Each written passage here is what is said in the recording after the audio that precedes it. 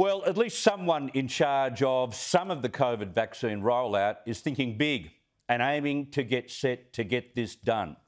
Today, the hero premier of this pandemic, Gladys Berejiklian, was thinking big, big like the US and the UK, which have been using drive through sporting venues to roll out the jab and sporting stadiums to service tens of thousands at a time.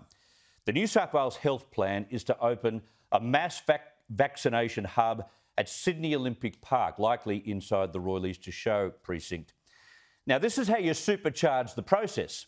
And whether it can be done or not, given the slow release of actual vaccine, at least a plan is being formulated so that if doses from CSL in Melbourne do arrive in their tens of thousands as promised, New South Wales has a mass vaccination hub ready to take advantage of those circumstances.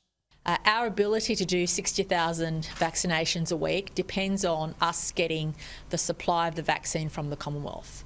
At the end of the day, the Commonwealth is responsible for getting the vaccine to the states. Uh, they're responsible for making sure we have those doses to be able to give out. Now, the Health Secretary, Brendan Murphy, still isn't sure about when those million doses per week will begin to leave the laboratory. So, CSL are releasing batches sometimes more than twice a week, so it's very hard to give an exact number. So no one got an exact number. In fact, Murphy was rather, well, cold on the idea of establishing a mass vaccination hub at the moment. It's not possible to stand up a large number of additional mass vaccination clinics. We don't have the vaccine to do that.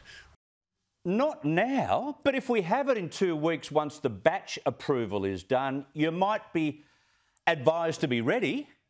Like we have established today the 2.5 million doses of our locally produced AstraZeneca vaccine are actually still sitting inside those laboratories waiting for what's called batch testing approval. They're done, ready to go. Now, there's no word when that will happen, but some are suggesting in two to three weeks' time. It is mighty frustrating. We all get that. But as the PM reiterated today, circumstances would be very different if the EU hadn't stood in the way of millions of doses. 3.1 million of the contracted vaccines that we had been relying upon in early January when we'd set out a series of targets did not turn up in Australia. That is just a simple fact. Now, that fact has been the key reason um, for the early phases of the supply shortage in the rollout of the vaccine. It's, it's straightforward maths. 3.1 million out of 3.8 million doses did not come to Australia. However, for the first time since the government began explaining the hold-up, which is about a week ago, the European Union has weighed in and they don't sound too happy with what they're being accused of. No, we certainly uh, cannot confirm um, cannot confirm any new decision to block um, vaccine exports uh, to Australia or to any other country for that for that matter. Make of that what you will. Australia is in a very small risk environment. But as winter approaches, efforts need to ramp up to get the other half of the aged care population, the other half, and the vulnerable vaccinated before we head into winter in June. But well done to the New South Wales Premier, despite what we heard from the Health Secretary, who again is showing initiative and showing her smarts in being ready for the next stage. Mass vaccination hubs will be the way forward. That's the lesson abroad. And there's no point waiting around until tens of thousands of vials suddenly arrive by refrigerated truck one day. The time for planning is now. Okay, let's bring in two of Alan's sparring partners on a Wednesday night New South Wales Minister for Finance and Small Business, Damien Tudehope, and New South Wales Labor MP, Chris Minns. Gentlemen, thank you very much for your time. Chris, good to be with you. Thanks, Chris.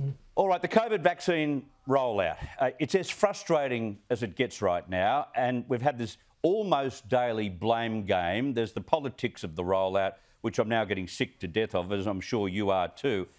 Would you like to see the states take sole control of the rollout, Damien? Well, I think the, the, the, answer to that is yes, and I think we are, uh, in fact, uh, responsible for the rollout. Uh, and the Premier is right when she says we rely on the Commonwealth to import the drug or to uh, provide the manufactured drug, but we are in fact responsible for the delivery. And, and Chris, you're 100% right. Um, uh, uh, to have a hub planned is what government should do. Whether the, the vaccine is available tomorrow is irrelevant. To have a plan to be able to deliver it as quickly as possible is something that government should be involved in. And if you look at the experience in England, where I think they used Ascot Racecourse uh, for the a mass rollout over there, they've been enormously successful in getting a great majority of their population vaccinated in a very quick time. That's why I think the Premier is 100% right to say, well, let's start the plan now. Uh, if in fact CSL uh, get their vaccine out quickly. We want to be in a position to get the majority of citizens of this state vaccinated as quickly as possible. See, I said once upon a time when, the, when Victoria was coming out of their lengthy lockdown, Chris Minns, that they better now sort out exactly what they do with a uniform single QR code. Well, even today they're using multiple QR codes, which makes it additionally difficult for contact tracers. You've got to be ahead of the curve, don't you? Yeah, you do. You have to be cognizant that things are going to change and prepare as best that you can. I think there's been some big problems between the state and the Commonwealth. I have to give big credit to Brad Hazzard and his management of this. I'd love to land a punch on him, but you can't. He's done a very good job, Chris. I mean, one of the things I'm worried a bit about is that last week Hazzard said that the New South Wales government was unclear what nursing homes had been vaccinated and which had not been. Now, that's a big public health problem, and it's indicative of, I think, the fact that the state and the Commonwealth government are just not aligned. So, mass vaccination hubs are a great idea, but are we going to have enough vaccines to make sure that people who turn up to these centres are actually going to get vaccinated? Well, th- there's an additional problem with that, according to people that I've spoken to in aged care, in that when officials come to do the jab, there are usually, because of hospital visitations and sickness, illness within the aged care system or venue, there are usually four or five um, people there, residents there, that don't end up getting the jab. So somehow those charged with giving the jab have to come back to those locations. Now, I don't know when that's going to happen, but it does complicate things even further. Um, I like the fact mm. that Gladys Berejiklian is getting on the front foot. Um, but what are your thoughts about the hesitancy from the PM and the Health Secretary there? I didn't understand that, Damien. I thought they'd be encouraging the states to get ahead. Yeah, well, uh, well, uh, I think they are nervous about uh, a plan to roll out maximum vaccine uh, vaccinations in circumstances where they can't deliver the vaccine because it really does expose the planning that the federal government ha has in place. So this is really amping up the pressure on the federal government to say, where, where are you up to with delivering this vaccine? Where is CSL up to? Where are the imported vaccines up to? If there is something that's got to be done to get the 3.1 million doses in Australia which haven't been delivered yet, what are you doing to get yep. them here? And that conversation has got to be had. For our part, we're saying, well, uh, we're going to make the facilities available to roll this out as quickly as possible when it's arrived. And I think yep. it's it's an important part of the conversation that we ramp up that pressure on the federal government and say, we're ready, you just give us the stuff, we're ready to go.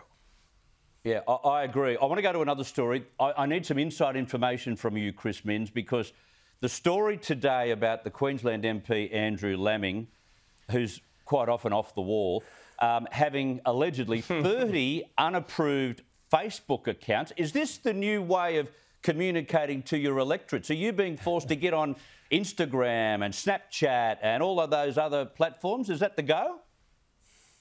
Well, hold on. I, do have those accounts, but only one of them.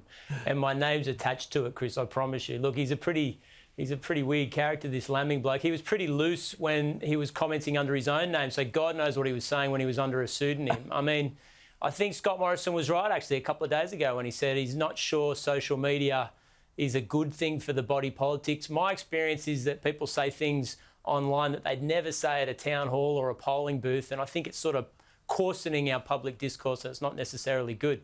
One of the funny things, Chris, about his uh, Andrew Laming's website is that he'd set up a fake account holding politicians in Redlands to account. and I'm sure he gave himself some pretty high marks. So it's, it's pretty funny stuff. Uh, of course, there wouldn't be any evidence that we could find, Damien, of political parties setting up social media accounts to denigrate the other side constantly. We couldn't find that anywhere, would we? Um, I, I, note the irony in your voice, Chris. Uh, I, I, have to say that um, uh, I think that there there needs to be a level of caution in this. There often is a case uh, in circumstances where really good, legitimate uh, community groups who have uh, have interests get taken over by uh, people who have a political protest that they want to use the community group for. So when that merger, when that political side is taken over uh, by interest groups, it then becomes a bit edgy. Uh, the AEC will sort out what Laming has done. If he, in fact, uh, is uh, has been using fake Facebook accounts for political content, then uh, they should uh, take the appropriate remedies. But th there's a warning for us all here uh, that if you are going to do this sort of stuff and use social media, for protest uh, organisations and pretend you're a community group. Uh, maybe the, the, warning for us all is is that the AEC will come after you. And you know, uh, I'm not uh, all that cognizant about a lot of the social media outlets that are available, but there are there are people who are, and I think that this is a really good step to provide a warning for politicians generally. Yeah. Make sure that if you write stuff, you own it. Yeah, it'd be good to see a precedent Damien, there. Damien, have you got a? Uh, I want to know if Damien's got a TikTok account. Um, uh, uh, Chris, uh, I, I, don't have one, but uh, I'm sure you do. No, no, no. I don't. Chris Minns, you, are you on TikTok? Chris Minns. Chris Minns, I'm are you I'm not. I'm not actually. Nah. One day. Stay one day. off it. Very quickly, is the Upper Hunter by-election ne next month a referendum on coal, Chris Minns? Well, I think it's a referendum on a lot of things, the New South Wales government to begin with. And really, it's going to come down to who's got the better vision for the hunter, who's going to provide the jobs for the future. I think we should be focusing on domestic manufacturing in that part of New South Wales. We should be building our trains, our buses, our ferries in that part of the world. That's what Western Australia, Queensland, and Victoria are doing. Good, well paid, middle class jobs in regional New South Wales that's what we need to focus on. Okay, 15 seconds, Damien. Well, Have you, you patched the holes up from the Malcolm Turnbull debacle? Um, well, I think uh, Malcolm Turnbull needs some lessons in self-awareness. Uh, the reality is Malcolm Turnbull should have quit before we had to sack him. Uh, the statements he made about coal were just inconsistent with the New South Wales government's approach, and uh, he should have had enough self-awareness to have sacked himself rather than require the government to, to get rid of him. But uh, I noticed Chris didn't mention coal amongst all those things that he said. Probably this is a referendum on Jodi as much as anything. Could be a referendum on Jodi. Chris Minns, Damien Hope. you can continue that debate when Alan comes back next week. Thank you so much for your time. Good night. Thanks, Chris. Thanks.